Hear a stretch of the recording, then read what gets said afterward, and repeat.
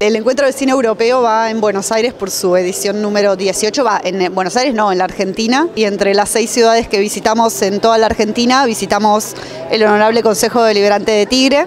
El Encuentro de Cine Europeo es un encuentro que es organizado por la Delegación de la Unión Europea en Argentina y que participan con sus películas 16 países de la Unión Europea. Se pudieron ver tanto online como presencial en varias ciudades, incluyendo bueno, Neuquén, San Juan, Ushuaia, Rosario, Tigre eh, y Ciudad de Buenos Aires.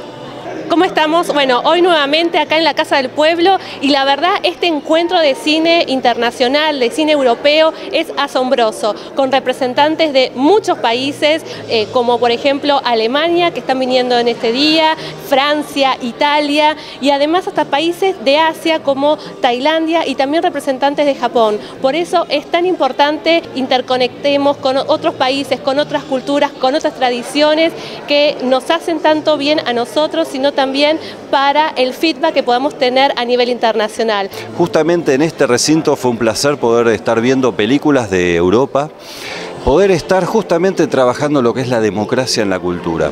Poder interactuar con diferentes paradigmas nos ayuda a crecer y nos ayuda a reflexionar sobre el mundo actual.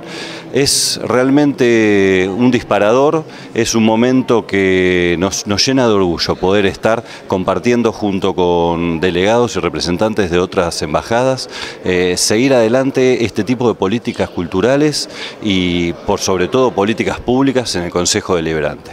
Por eso, una vez bienvenidos acá a la Casa del Pueblo.